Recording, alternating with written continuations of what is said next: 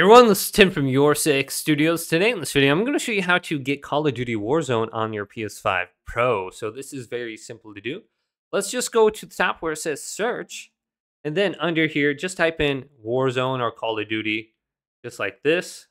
Now, it's not going to show up as Warzone. It's going to show up as Call of Duty. Now, Call of Duty is using something called a headquarters where all their games are located in one easy application. So we can just choose Call of Duty right here and then we can play the game. Now, just make sure you are downloading the correct version so we can go to select version by going to those three little dots. We have the PS4 version right here, the beta, and then the PS5 version. Download the PS5 version.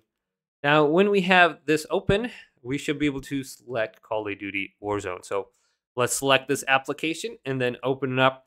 And it's probably going to get you to try and buy like Call of Duty Black Ops, Vanguard, or any of the other previous Call of Duties that have come out before, or the newest one in the future, Advanced Warfare 2. I don't know what's the next one, but it's going to probably try to prompt you to get those. All you have to do is press R1 and tab on over to Call of Duty Warzone. So you might have to restart like two or three different times if this is your first time downloading the headquarters and getting into it. Eventually, you'll be brought to this screen.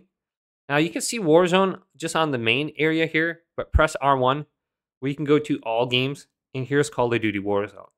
So just press X on this to download. Then you can prompt the download. But you can see all these different Call of Duties you're going to have to buy or purchase. So let's go to Warzone right here and then start playing this.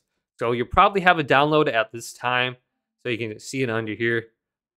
So hopefully this video did indeed help you out. If it did, leave it a big thumbs up.